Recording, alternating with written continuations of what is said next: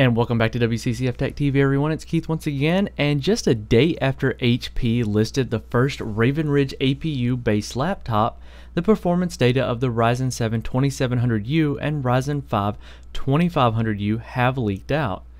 The performance data was posted over at the 3D Mark database, giving us a first look at what kind of horsepower the chip packs under the hood. Now, so far there are two processors under the Raven Ridge family which have been leaked. So the first one again is the Ryzen 7 2700U and the second is the Ryzen 5 2500U. Based on the U branding, both of these chips have an ultra low power design and they are based on the Zen core architecture featuring AMD Radeon Vega mobile graphics on the same die. Now, while we don't know much about the Ryzen 7 2700U in terms of specification, it is in, it is mentioned in the database that the chip clocks in at 2.2 gigahertz.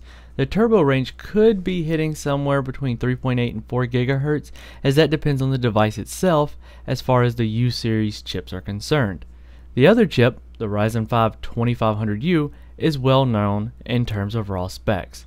It comes with 4 cores and 8 threads, supporting clock speeds of 2 GHz base and a 3.6 GHz burst. The burst frequency is just another name for boost on AMD mobility processors. Then the processor has 6 megs of cache on board, and since this is an APU, we'll be getting integrated GPU in the same package. This time, AMD is offering Radeon Vega M graphics that replaces the GCN found in older APUs.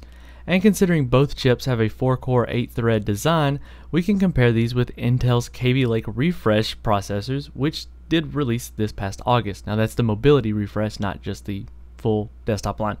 So coming straight to the benchmarks, we see that both chips were tested in a 3D Mark 11 and the Ryzen 7 2700U scored 4212 points with 4072 graphics and a 4619 physics score.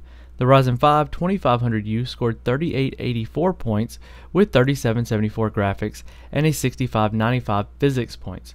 Now PCPer did go ahead and compare these results with an Intel Core i7 8550U, which is their new 8 core or their new 4 core 8 thread part under the same ultra low power design.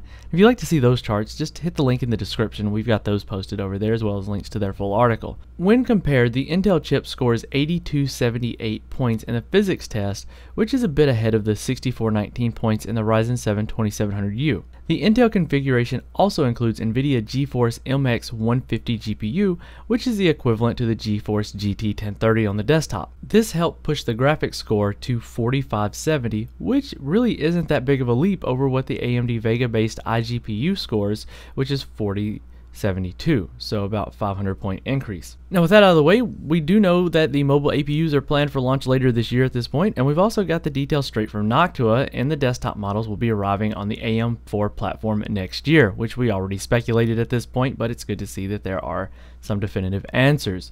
And we've got that quote on screen if you want to see that from their Chromax release. So if you found this video entertaining or informative whatsoever, feel free to like and subscribe. If you have anything to add to the conversation, feel free to do so in the comment section. And this has been Keith with WCCF Tech TV, and we'll catch you in the next video.